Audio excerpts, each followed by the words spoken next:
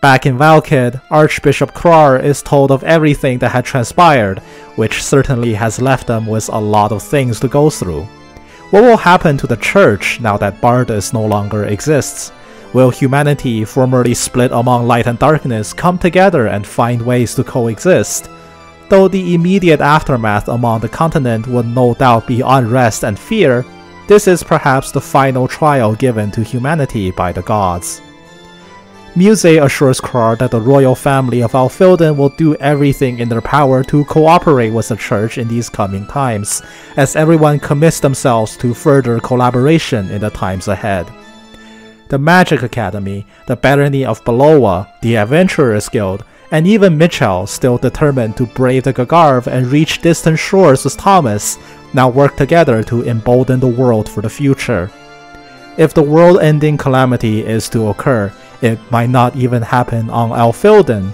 It is now necessary for them to finally cross the abyss beyond the continent and visit the new worlds.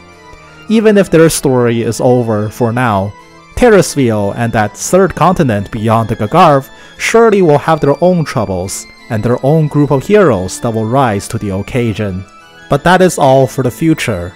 For now, the team has more than earned a well-deserved rest. Krar invites everyone to stay the night in Valkid. The Planetos will arrive the next day in Brejak to take most of the crew back to Boreas, so that they may return to where they belong. Avin, Mio, Emil, and Rutice wander around Valkid. Come to think of it, Emil and Mio had never properly toured the Holy Capital, and today seems like the perfect time to relax before they all head home tomorrow. As they make plans to travel the city, it almost seems like they've forgotten someone. Oh, right. Having just come back to life, Mile finds himself almost strangled alive again. With all of Shannon's antics since they first met back in Tibri, she's managed to become a member of the crew in her own unique, rambunctious way. Deciding to invite Shannon along on this day of relaxation, much to Miles' dismay, the team prepares to set off. But then, Rutice, seemingly quiet and glum since everything that had happened, suddenly excuses herself and walks off. Sensing that she's terribly troubled, Emil and Mio urge the somewhat blockheaded Avin to go after her. After all, he is perhaps the only person that can truly understand her, even if he doesn't fully understand it yet. Avin catches up to Rutice, locked deep in thought in the streets of Valkid. Tomorrow they will both return to Boreas, Avin to his home and Rutice back to Ruka. Thinking back, they've traveled together for a long time now. Avin admits that now, imagining his life without Rutice constantly beside him is somewhat lonely. And then she tries to speak up, but finds it difficult to summon the words that she wanted to say. On the next day, the Planetos sails off from Brijak port, bound for Boreas. With Gawain and Lucius remaining in Ducis to continue their work, the rest of the crew board the ship to head off. But Rutice, exchanging one last longing look with Avin, also stays behind, splitting up from him. As Avin boards the ship, their conversation from the previous day replays in his head as they set off on the long journey home. With everything that had wrapped up, Rutice found herself thinking about the future of the cult, filled with many people much like herself in her childhood, those that sank into darkness after their yearning for the light were denied. Thinking about it, all of them were pitiable in their own ways. Avin can't help but agree, Perhaps in another reality where he lost both Emil and Mile, he too might have given into despair and become a member of the cult. But Rutice disagrees. Avin is a very spirited person and wouldn't give in to despair like that.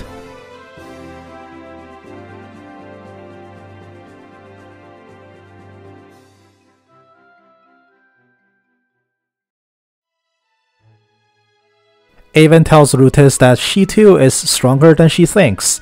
After all, she's conquered the demons in her own heart to get to where she is today. But Rutice instead thanks Avin for teaching her what it feels like to cherish her own loved ones and the unending will to relentlessly move forward through obstacles. Avin too is grateful for her presence. Without her, he could have never successfully rescued Emil and Mile. As they both looked to each other with gratitude, they fell into an awkward silence.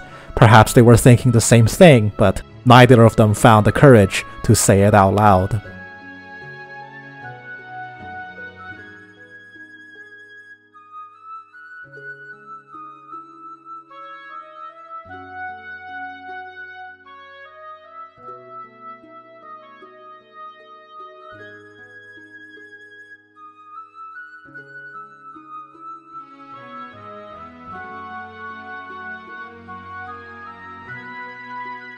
The awkward silence is broken as both of them burst with laughter. A small, intimate moment like this is rare, but it felt nice. Avin then makes a move, offering Rutice and Ruka to move in with him in the lookout cottage. After all, it's a very large place, why not move in and make it their own home as well? But that's when Rutice suddenly looks away and breaks the news to Avin. She's not planning to go back to Ruka. Not now, because her journey hasn't finished yet.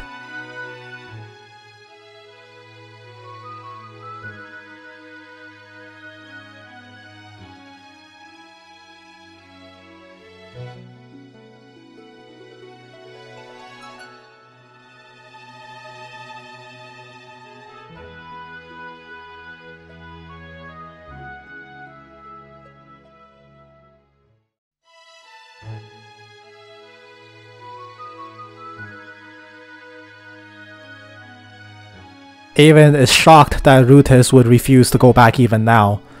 But this time, her face is no longer troubled by the thought of reuniting with her brother.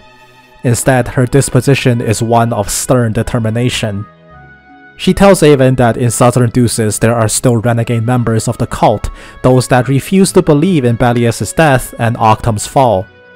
Even now, they carry out resistance operations against the church.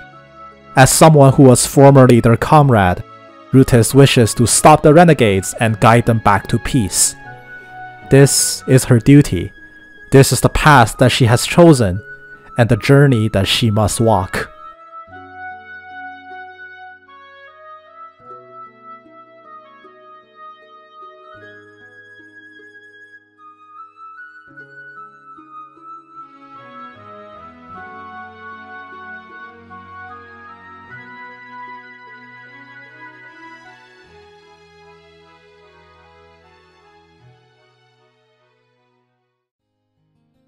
Avin, unwilling to let Rutice go alone, demands to accompany her, but she turns down his offer.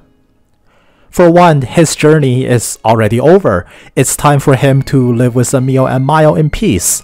And besides, someone like Avin would never be able to undertake this mission. Avin's bright disposition and his unwavering faith, the embodiment of what Durga called the tear of vermilion, would instead stir envy in the hearts of the renegades. A mission like this can only be carried out by Rutice, alone.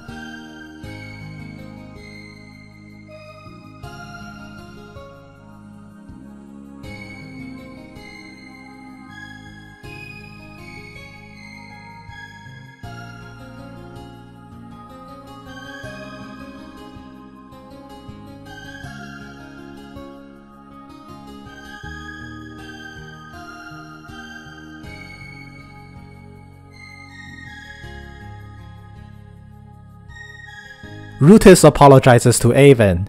Even though he's helped her so much, she knows that this isn't what he wanted in the end, but her resolve is firmer than ever. This is her own path to walk so that she can finally stand independently and be the strong person that she needs to be for Ruka and for Avin. In response, Avin blurts out his feelings. This isn't a desire to help, this is a sense of love and care from the depths of his heart. For Rutice' sake, he's willing to do anything for her because he's in love with her. Rutice interrupts Avin and begs him to not finish that sentence. Not now. Not here.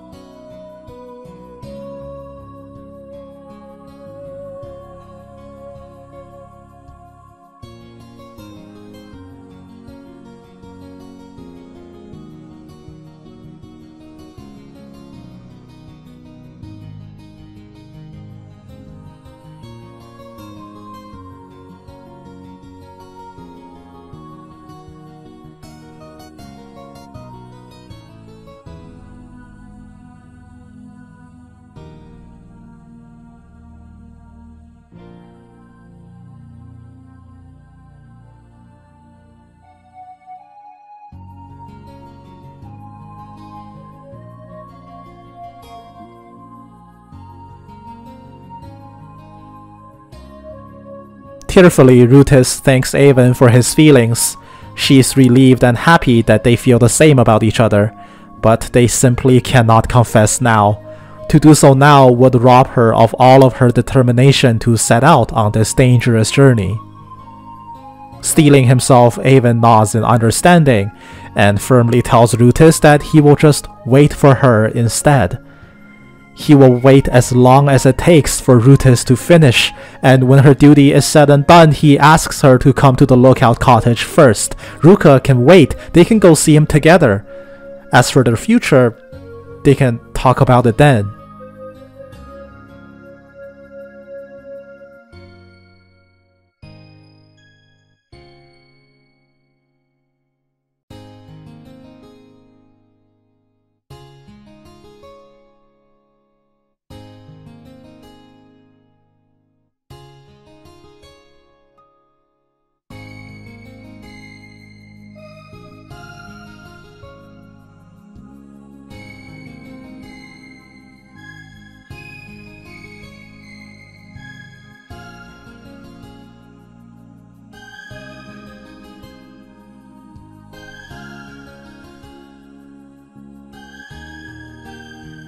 Rutice protests. This journey is exceptionally dangerous. There's no way to know how long it will take or if she'll even return alive.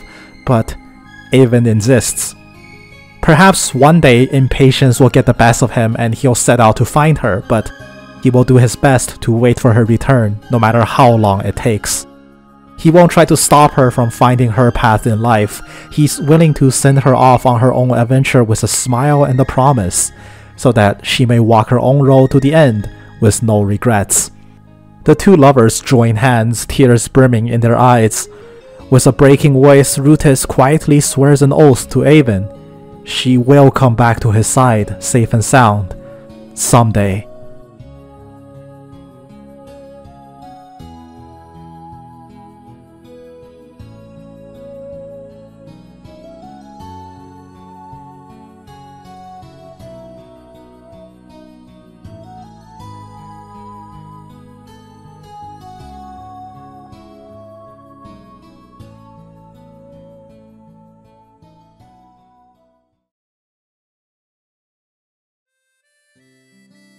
Since then, seasons turn, time flows.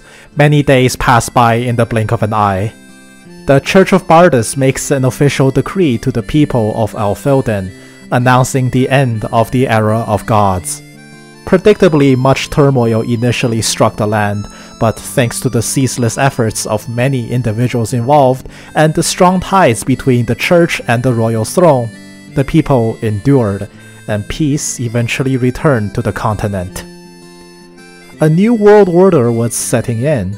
The Church of Bardus remains in effect, though this time without a god to worship. However, the symbolic gesture of the church's continued existence and the act of prayer itself remains a pillar of unity that stabilizes the hearts of individuals. The message across the world is clear. The gods only act in accordance to their own principles. Humanity must now learn to stand on their own and find their purpose without relying on a pillar of their own faith. To each their own, as people's lives continued in more or less the same way as they were before. In some places, it is simply business as usual. In others, there are groups that have turned a new leaf. New friends and lifelong companions or even old rivalries quashed and then sparked anew. Sometimes the more things change, the more they tend to stay the same. In some ways, it's as if the gods have never left at all. Avin's adventure resonating with the hearts of the many companions he's made along the way, and the infinitely more souls that have been touched in this journey, stands as a clear and stalwart reminder Together, as bonds new and old join into one, the world will always see tomorrow. Humanity shall stand against any coming obstacle and surmount it together, no matter how difficult the climb may be.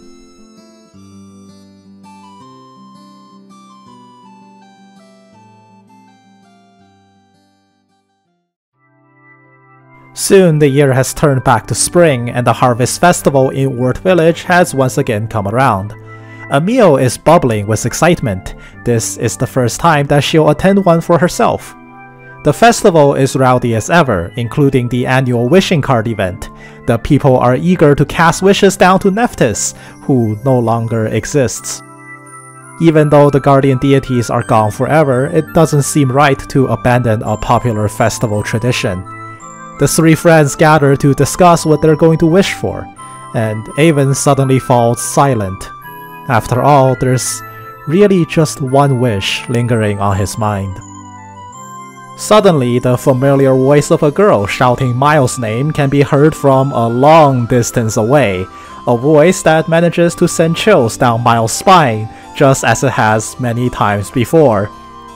Shannon, spirited as ever, has also come to attend the Harvest Festival and help out the Wart villagers with festival preparations. But Avin, still silent over his own thoughts, decides to walk off to cut some logs for the festival, opting to do some labor to clear his head. Seeing him walk off, Emil and Mile can't help but comment on his stubbornness. Emil mentions how restless he's been getting, why not just head off and try to find Rutice? But Mile believes that Avin is stubborn enough to keep waiting, even though it's been quite an ordeal for him. Hearing Rutice's name, Shannon suddenly pipes up. She didn't come here alone. Returning a pile of lumber to the storehouse after some hard work, Avin hears the voice he's been longing for. The voice that's been missing from his life for almost a year now, calling out to greet him, filled with that unique sense of charm and spirit that he's come to treasure and love. He's been working hard to keep himself healthy, just in case one day he decides to set off to find that stubborn girl who insisted on journeying alone. Avin turns around to find Rutice, tearfully telling him that at last, she has found her way home.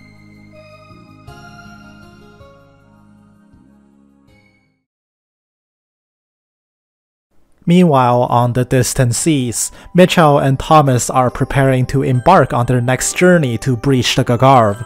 Thanks to the combined efforts of many hardworking magicians and engineers, the Planetos, now equipped with reinforced frames forged using Mirage Metal, has been renamed the Planetos 2.